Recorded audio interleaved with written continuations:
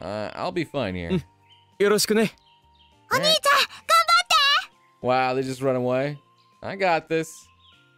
With that, I I check to make sure Tori's a safe distance away before I start to work.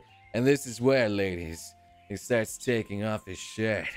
And it's like, ugh, starting to get nice and sweaty, and Kana's fucking drooling fucking from her mouth and from her lower mouth, and she's like, do me right now. Anyway, um Oh, I mean, I did I call it or did I not fucking call it? Just saying. First, I, I set the log in the stump and bite into it with the axe. Something romantic about a lumberman, a, a lumberman jackman. um, hoo ha, ha, yippee woohoo! Okay, Conan brothers, I raise the axe up high and swing down hard. The axe makes it about a third of the way into the log. なん